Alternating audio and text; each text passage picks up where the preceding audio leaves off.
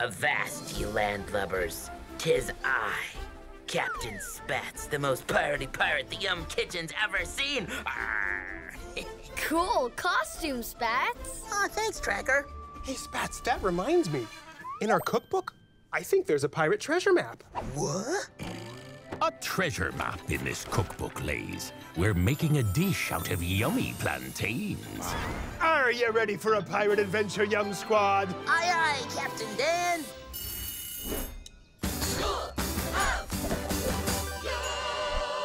Hmm.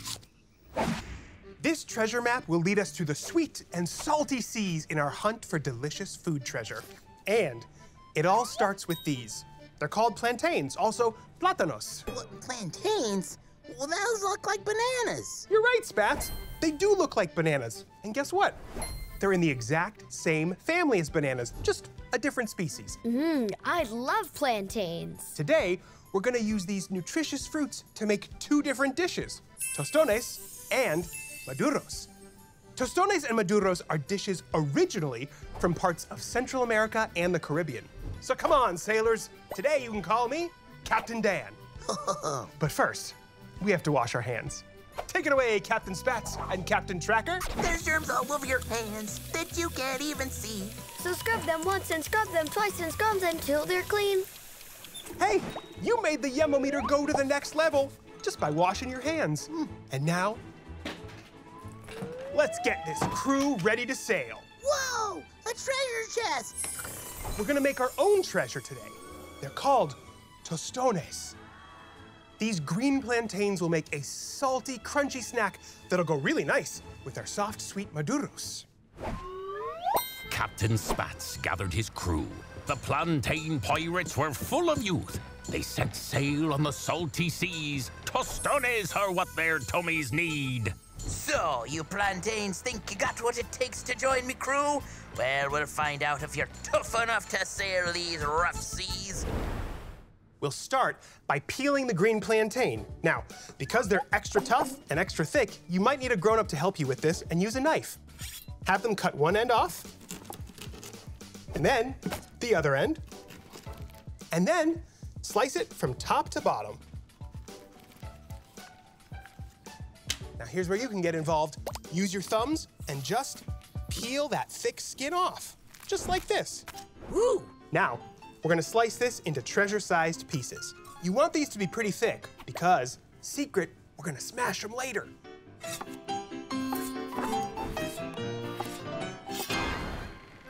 Life outside the pantry is tougher than you're used to, lads.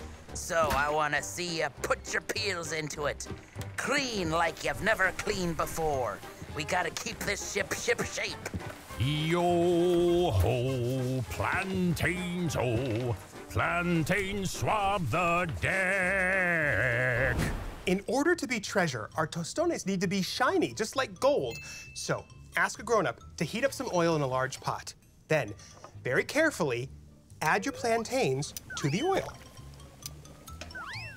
That sound means the oil is working. Make sure you've got enough oil to just cover the plantains. Turn them over once or twice while they're cooking to make sure they cook evenly. Ooh, the heat is turning them golden. That's right, Tracker. And the heat is doing one more important thing. It's making them nice and soft, which means it's time to remove them from the oil and let them cool down a little bit before we get to our next step. Perfect. Wow. Now this is my favorite part. It's time to smash them. Let's use a tostonera. Whoa, that's a tostones press made from wood. You can also use whatever flat surface you have handy. Sometimes I just take the end of a can of beans and smash them. Take your plantain pieces, put them in, and smash them nice and flat, and then put them back on your tray. Three, two, one. Now, we just put the smashed plantains back in the oil until they're golden brown. Oh, that sizzle means it's working.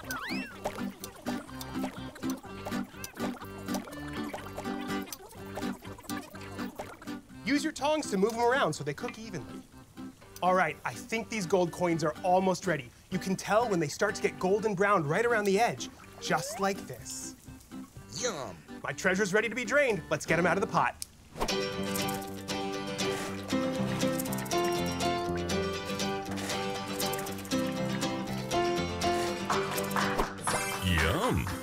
There. Tostones. Our treasure chest is almost done. Hey, Tracker, can you help us out and sprinkle some salt on these? Sí, la sal. And look, we sent the Yumometer to the next level by making our tostones. Batten down the hatches, Yum Squad. We have more treasure to find. Yo ho, plantains, oh, plantain sail the seas. Woohoo! Good news, guys! There's an island! Ah, and we're really close. Now they sailed where the map told them to go to find a treasure called Maduros. Uh, no worries, guys. I've seen storms twice this bad. Now it's time to make our Maduros.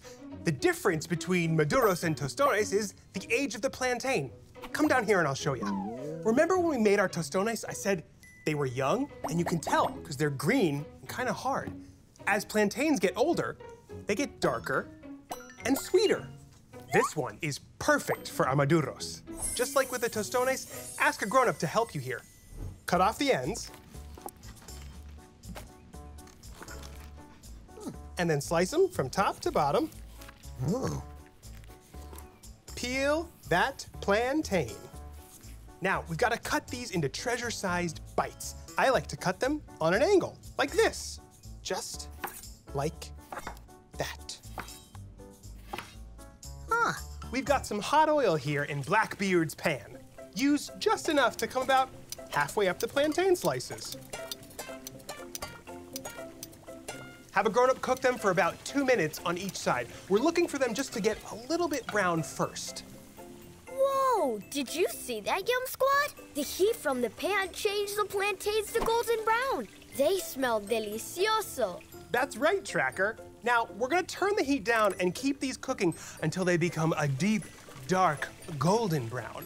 What happens here is called caramelization. Uh, caramel, what now? Caramelization is when all the starch in the plantain transforms into sugar. Wow. These smell so good and they look great. Ah, now that's treasure worth burying in my tummy.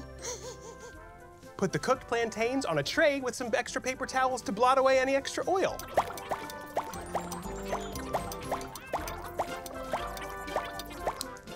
Before they dry too quickly, sprinkle the Maduros with a little salt.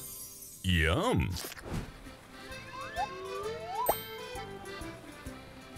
And look at that! Making our Maduros sent the Yumometer to the next level. Hey, great work, crew! Sí, buen trabajo. Maduros.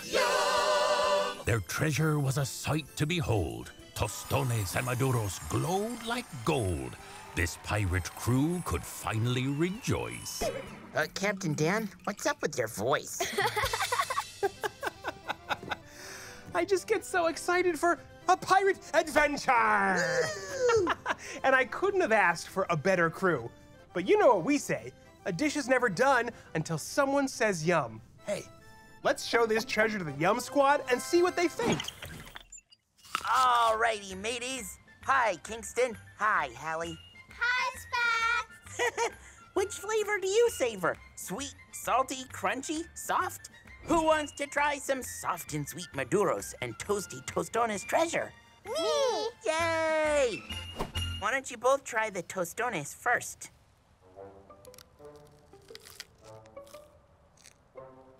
Like the salt. Oh, that's good. Kingston, how do you feel about the crunch and the salt of As the you can Tostones? tell, I actually really like it. I was not expecting this, but the tostones, Mm-hmm. it tastes like potato. I tried to cut it in half to see what it would look like, Yeah. and it kind of looked like the same thing as this. You know what? That's because it is. Isn't that interesting? Did you try the Maduros? Hey, Spats, I like the tostones better. Oh, why? I think I like it better because it's crispy. Very cool. Well, there you have it. Kingston, Hallie, let's hear your best pirate. Arr! Arr! Great work, Yum Squad. You went on a snack adventure to turn a simple ingredient into two amazing treasures. Plantains. Look, the Yum Squad tried our dish and we completed the Yumometer. Arr! You sailed the sweet and salty seas to make plantains two ways.